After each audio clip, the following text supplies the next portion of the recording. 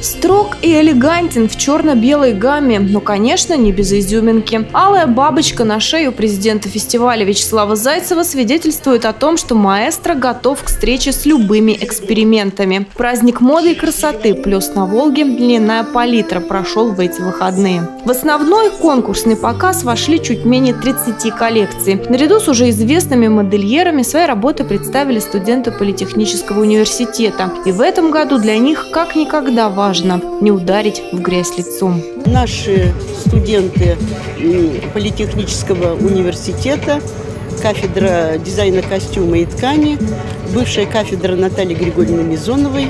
В этом году они посвящают свои э, свое выступление как раз памяти Натальи Григорьевны Мизоновой.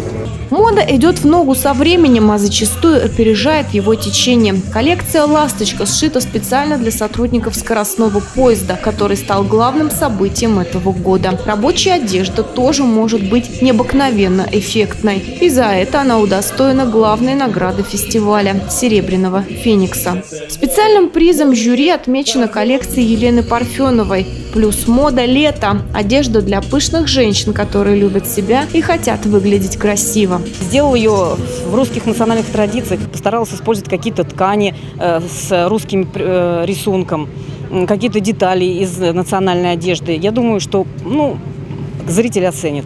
Ивановские модельеры Ксения Новикова и Дарья Растунина продолжают творить совместно с ребятами из клуба инвалидов «Грани». Последние рисуют, а девушки-дизайнеры превращают их незамысловатые сюжеты в целые истории. На этот раз главный герой – аквалангист, счастливый обладатель подводных садов. Мы познакомим а, наших зрителей а, с прекрасным аквалангистом и его верной спутницей и погрузим всех а, сегодняшних гостей на дно океана и представим подводных жителей и такую морскую цветочную историю. Подиум – это жизнь. Самым жизнеутверждающим названием самая трогательная коллекция показа. Алия Уросова обратилась к директору фестиваля Светлане Разиной с просьбой сшить одежду для колясочников. Модельер Ольга Голдобина взялась за нелегкую работу. И все сложилось. Серебряный феникс и наивысшие баллы судейской бригады тому подтверждение. Платья и костюмы обещают подарить демонстраторам. Он в восторге. Это и ткань хорошая, и учтены все просьбы. То есть я не испачкаю рукава, например, одевается все легко. Да, очень довольны.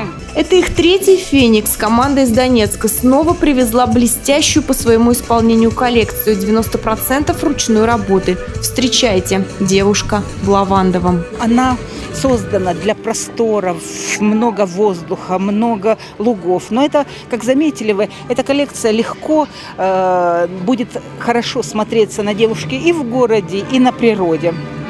Вот, сделана из натуральных материалов, 90% лен, Э, много очень вышивки растительной. Фениксы достались и ивановским модельерам. Закрывала показ коллекция «Иванова стайл». Совместная работа Татьяны Клименко и Елены Ельниковой. Национальные мотивы в современной одежде, плавные линии туалетов, необычно декорированные аксессуары. Очень смелая точка 13-го фестиваля. Елена Белова, Денис Денисов, РТВ Иванова, Плюс.